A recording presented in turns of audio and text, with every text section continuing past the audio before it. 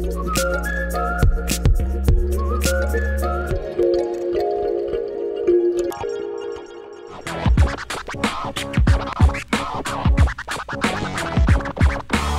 Jean-Baptiste. Bonjour Bertrand. On s'est vu il y a deux ans et demi sur ce même canapé, mais alors il y a vraiment que le canapé qui est encore en place, tout a changé depuis. Tout à fait. Donc, je suis très content d'ailleurs d'avoir gardé cette relique Cette relique qui nous porte bonheur jusqu'à qui aujourd'hui. était dans un autre lieu, toujours dans les mêmes coins de, de Boulogne. Ceci dit, vous êtes un petit peu agrandi depuis quand même. Et effectivement, on a euh, plus que quadruplé la taille des bureaux. Vous étiez 15 à l'époque. Tout à fait. On était 15 à l'époque et maintenant aujourd'hui on est 40. D'ailleurs, un, un symbole de Digit, c'est la taille de sa terrasse. Euh, à l'époque, on avait un petit balconnet et aujourd'hui, euh, on a la chance d'avoir de, des terrasses de partout. des terrasses de partout pour travailler, bien évidemment. Il y a 12 millions de téléchargements de l'application, ce qui était déjà un énorme carton. Aujourd'hui, on en est à 70-80 millions en cumulé, on va dire pourquoi. Tout à fait. En Ouais. cumulé, donc on est passé de, de 12 en janvier 2014 à plus de 80 millions euh, donc en octobre euh, 2016. Quand on s'est rencontrés, nous on avait le, la volonté de créer un- une application de mix pour le grand public. Euh, on, s'est- on est vite devenu numéro un mondial sur ce segment, donc l'application de DJ l'a pu télécharger sur mobile et on s'est dit bah, oh, qu'est-ce qu'on va faire demain puisque pour faire de la croissance, sachant qu'on est déjà numéro un sur notre segment, ça va être compliqué. Donc du coup, on a décidé, euh, en accord avec les actionnaires et l'équipe, de se diversifier. Et c'est pour ça qu'on a commencé à faire des tests. On a repris euh, des fonctionnalités de e-DJing. On, a on les a transformées en applications. La première idée qu'on a eue, c'était de créer euh, un equalizer. Donc c'était en fait dans e-DJing, tu sais, un petit equalizer. Je t'avais fait la démo il y a deux ans et demi.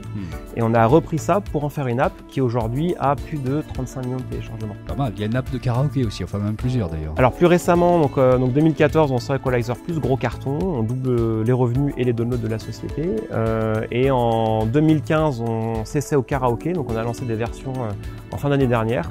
YouSing, qui est une application donc, de karaoké collaboratif. Donc là, on est au tout début puisque euh, on a lancé ça il y a, donc, il y un peu moins d'un an. Et la chose importante aussi qui s'est passée en, en 2015, c'est surtout le fait qu'on s'est lancé dans le hardware. On a lancé Mixfader, le premier crossover connecté. Donc en 2015, on fait l'annonce euh, lors du salon South by Southwest au Texas. Là, gros buzz. Et là, on se dit, bah voilà, euh, en fait, euh, on va pouvoir se servir euh, de Mixfader pour, euh, on va dire, monétiser notre application. Parce que euh, je te rappelle, que est une application gratuite.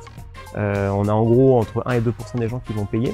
Bah, en fait, Mixfader, c'est un, donc un objet connecté, c'est un très bon moyen de monétiser des applications gratuites. On a commencé à livrer les premiers clients en mars. Et après, on a eu une, production assez réduite jusqu'à envoyer, on va dire, le flux en ce moment, puisqu'on est en train de préparer Noël. Et Mixfader est déjà présent dans quasiment toutes les grandes enseignes françaises. On est assez euh, marqué euh, DJIT, DJ, e-DJing. Alors, aujourd'hui, c'est pas ça notre ambition. Notre ambition, c'est vraiment de devenir un acteur euh, mondial dans la catégorie musicale. Donc, en fait, on veut devenir le numéro un dans la musique sur mobile. D'arriver avec cette stratégie en fait multi-produit, hardware, software, de devenir un acteur incontournable euh, dans le domaine de la musique, sachant que bien évidemment nos concurrents sont monoproduits. Quand on s'est vu il y a presque 3 ans, tu m'avais dit on n'a pas de problème d'idées, on a même presque trop d'idées. La problématique, c'est de grossir, d'assurer la croissance et de recruter. On a les mêmes problématiques. Ça veut dire que sur mon petit carnet euh, d'idées, euh, j'ai plus assez de pages. De plus, mes, mes équipes ont des petits carnets d'idées également. Et là, on commence à avoir un, un vrai problème euh, bah, en fait, pour euh, arriver à développer toutes nos idées, puisque en fait, on manque encore de bras. Donc, on cherche encore des talents tous les jours pour pouvoir répondre à, euh, à nos différents besoins, ou en hard ou en, en soft. Qu'est-ce qui, selon toi, explique ce succès et qu'est-ce qui aurait pu, à un moment précis, mettre la boîte en péril? Alors je pense que ce qui explique le succès de la boîte, c'est prioritairement la culture de la qu'on a instaurée. Euh, on a une équipe qui est très très jeune. Notre agilité, on va dire, à répondre à un besoin marché mieux et plus vite que les autres. C'est assez simple, hein, comme on va dire, comme explication, mais à réaliser, c'est un peu compliqué. Qu'est-ce qui aurait pu faire que ça ne marche pas à un moment précis? Alors je pense qu'il y aurait, ce qui aurait pu faire que ça ne marche pas, ça, aurait été euh, un, problème de temps ou d'argent. Ça se résume assez bêtement à ça. Les startups aujourd'hui qu'on a en France sont extrêmement euh, euh, innovantes, innovantes et prometteuses. Souvent, l'histoire s'arrête parce que vous n'avez pas atteint la taille suffisante pour être rentable. Il fallait juste faire un petit effort en plus. Donc nous, ce qui est bien, c'est qu'on a des actionnaires qui nous suivent et qui nous aident.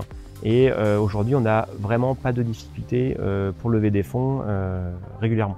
D'ailleurs, bah, on se voit souvent pour des bonnes nouvelles, puisqu'en 2014, on s'était vu suite à une levée de fonds qu'on avait fait euh, sur la base de nos 12 millions d'utilisateurs. Et cette année, il y a quelques semaines, on a closé donc, le plus gros tour de table que Digit ait connu, et avons levé 2,5 millions d'euros cet été.